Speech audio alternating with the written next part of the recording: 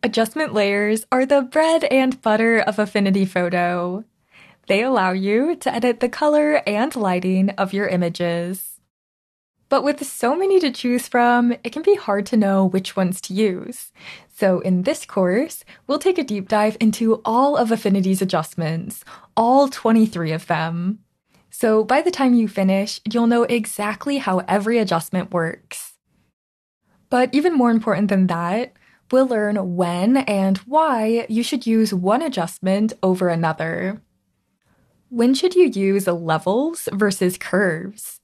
Or color balance versus selective color?